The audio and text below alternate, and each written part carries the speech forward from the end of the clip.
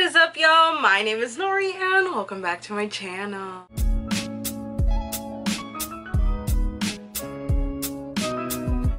So today we're going to be doing our favorite video which is the TBR cookie jar. We love to select TBR cookie jars from here because your girl's not going to stop buying books, okay?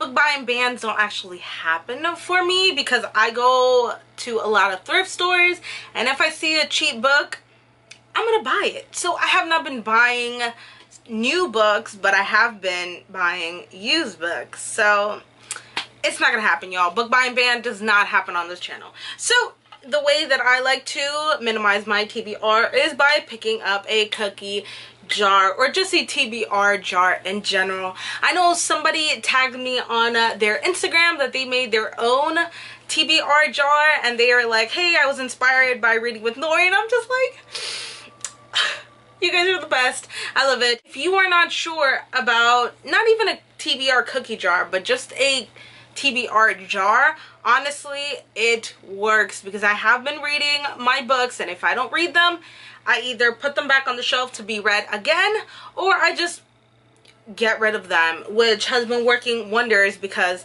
if I don't like it I'll get rid of it which brings me to another book that I bought so I can put it on the shelf. So we are going to start and if you did not know I usually pick six cookies but if it's too much uh, graphic novels or manga I'll just continue picking until my heart is content. Sometimes I'll stay with six most of the times I'll pick eight and then I've reached 10 as well, which, oh boy. I wanted to make it a game, maybe. Maybe like a dice. You roll the dice and that's how many cookies that I'm gonna pick up. If you're interested in that, let me know because that sounds kind of cool. All right, third pick, y'all. If I keep picking up things, I'm gonna have to revamp this cookie jar because if not, I'm just wasting minutes on my camera.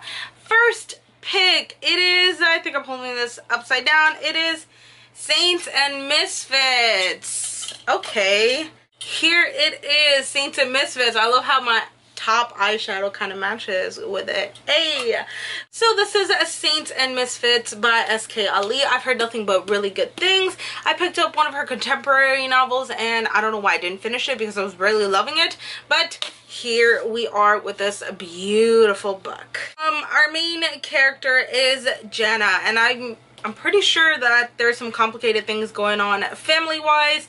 Um, she lives with her dad and his brand new family and then the mom lives with the older brother which obviously there's gonna be some some uh, quarreling over there. Then there's her best friend which is Jeremy and those two are cut from a completely different cloth but they make it work. And then there is a monster. I guess I don't know what this book's about but it's beautiful and she's holding up a camera which you guys well if you did not know i'm a photographer so i can relate to that. And uh, i've been working on uh, reading more diverse authors which this book goes perfectly with it so i cannot wait to pick this up all right we got our first book which is a YA contemporary and our second pick it is the Princess Diaries. Oh, okay. That is a YA throwback, y'all. Where are my pink books? Right here. Princess Diaries. Very, very hot pink book. But that's the second pink book that I've grabbed. Maybe maybe I'm only going to be grabbing pink books. Who knows? But everybody kind of knows this because we all grew up on the movie and Meg Cabot. It was a huge YA contemporary when I was a teenager and that was pretty long ago. But yeah, everybody kind of knows what The Princess Diaries is. You have um, Mia and uh, Mia is you know, the outcast and the nerd. And then she finds out that her dad is a crown prince of Genovia, the country Genovia. So she finds out that she's a princess and she needs a whole makeover montage. Yes. But um yeah, she needs to learn how to behave like a princess so that she does not embarrass her dad because one day she's gonna be queen. So this is pretty much our childhood right here and I picked this up because this is a whole entire series so I loved the movie and I wanted to pick up the book series and you know give it a try and I'm excited to actually pick this up Alright, we got two out of six YA contemporaries, y'all. This is to be the month of contemporaries. We shall see. And the third book, it is going to be, I think I'm holding that upside down. Yep, I am. Ooh, Deep Blue, another YA book, but this one is a mermaid book, which, ah, y'all know I'm all about that life. Where is it?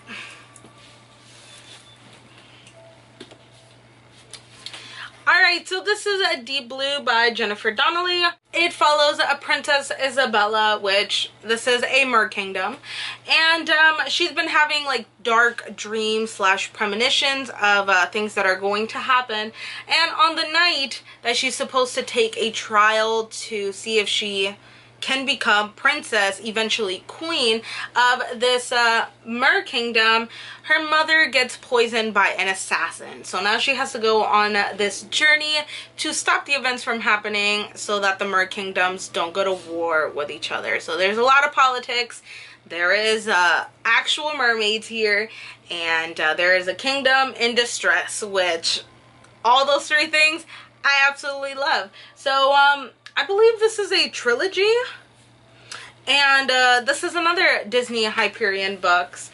And I know that this has a song for it too. And I really like the song. Um, yeah, I picked this up because I'm obsessed with mermaids, if you did not know. And now I'm actually going to read it. So, yeah. Alright, y'all. I kicked my tripod, so hopefully it's not too much of a difference. But book number four Let's see if we get something other than YA, which I don't mind because I do read a lot of YA. But yeah, let's see. Next book, it is uh, The Book Thief by Markus Zusak. Oh, we got a classic, y'all. Oh, snap. All right, cool. And exactly where it is. And, um, yeah. I have not read this book. I, I have a list of classics that I want to get to but never have. If you guys are interested in seeing that video let me know. But uh, let me take this out before I put it back in. Um yeah I know this is um this is a historical fiction set in Nazi Germany and it follows a girl named Liesel I believe. And um obviously very dark times but her family is hiding a very dark secret as well. They're hiding a Jew in the basement and it's Nazi Germany it's hella dangerous for all of them.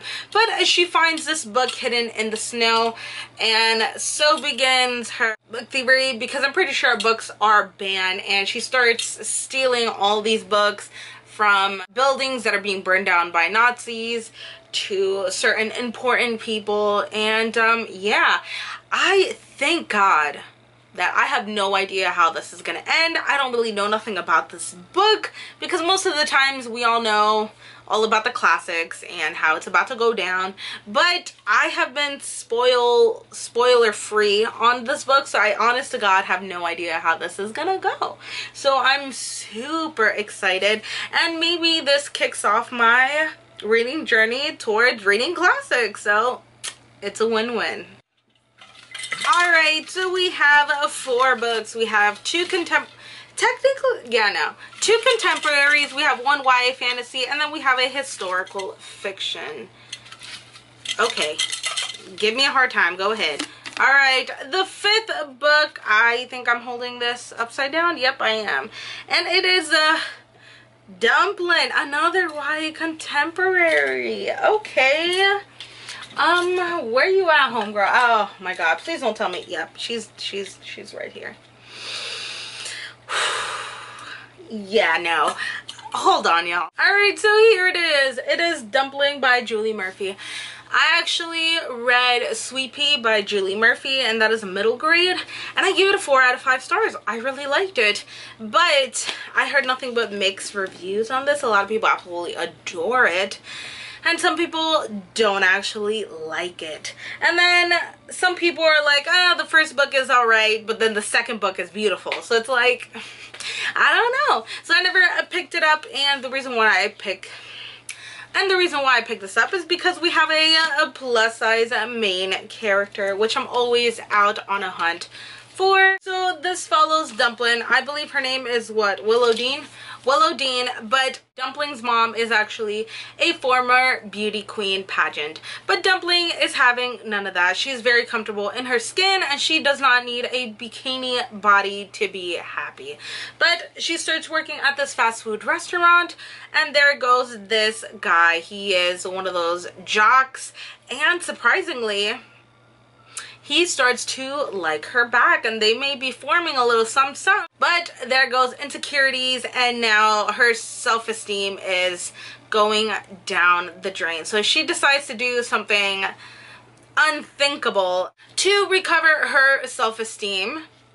She decides to run for beauty queen in beauty pageant which makes her mom super ecstatic. So um we follow her journey there and i'm pretty sure she's an unlikable character. Like she's she is not the best character at all which i already have my mindset on.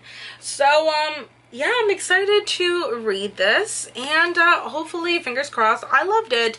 And there is a movie, so now I can actually compare the book to the movie to see which one is better. But most of the time, the book is better than the movie. So, yeah. Alright, so I keep picking up all these crazy books that I don't have anymore. And... Uh, that means your girl's gonna have to update the cookie jar which is no problem. I actually was printing out cookies and um yeah so we shall see what that becomes. So our last and final book it is going to be i think this is it? Oh snap. Another YA book and that is The Kiss of Deception which I've been wanting to read. I already mentioned it in one of my previous videos and this is definitely a YA classics. And um this is definitely one of those YA classic fantasy. And um yeah. Ooh oh, I love it.